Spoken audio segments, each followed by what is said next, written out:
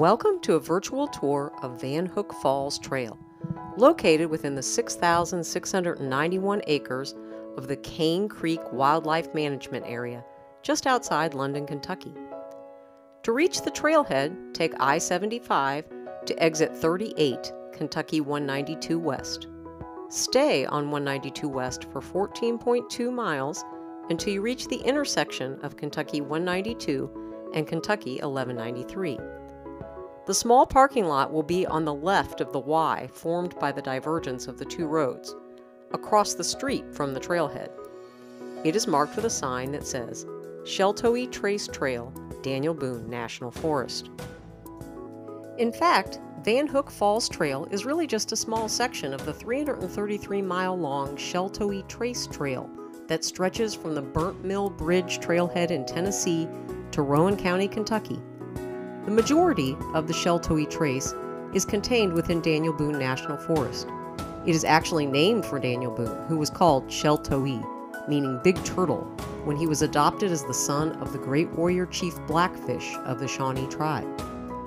Here are some things to keep in mind when you're planning a trip to Van Hook Falls. From its starting point, Van Hook Falls Trail is a moderately difficult out and back hike, approximately 5 miles round trip. The first portion of the trail takes you down into a gorge. This section is often muddy and has deep grooves created by rainwater. The day after a good rain is a great time to see the falls, but remember to wear boots and be careful in your initial descent. There aren't any restroom facilities at the trailhead or along the trail. You can bring your dog as long as it's on a leash, Cell phone reception is really poor to non existent for most of the hike. The stream water is, of course, not safe to drink, no matter how clear it looks. Bring your own water.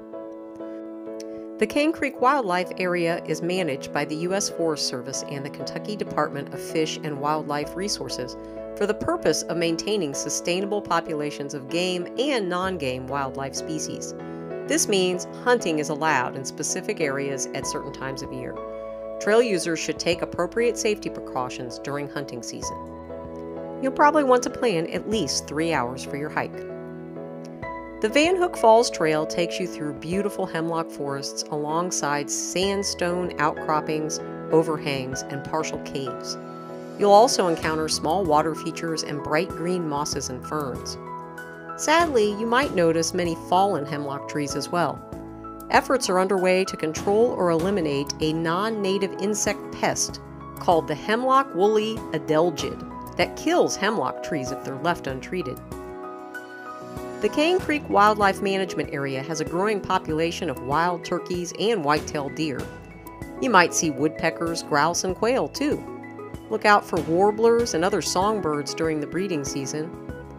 Along the river you can spot wood duck, heron, and salamanders and in springtime, the wildflowers are just too numerous to list.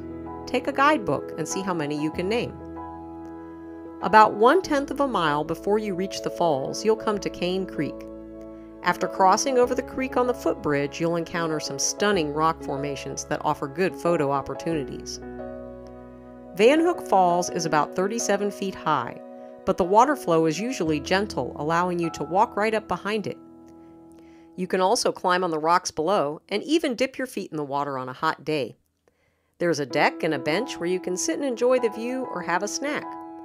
The falls are a perfect destination point for a hike that is just the right distance. I hope that you have a chance to hike the Van Hook Falls Trail. Thanks for joining us. To discover more great places where you can walk around Kentucky, visit the Jessamine County Public Library YouTube page.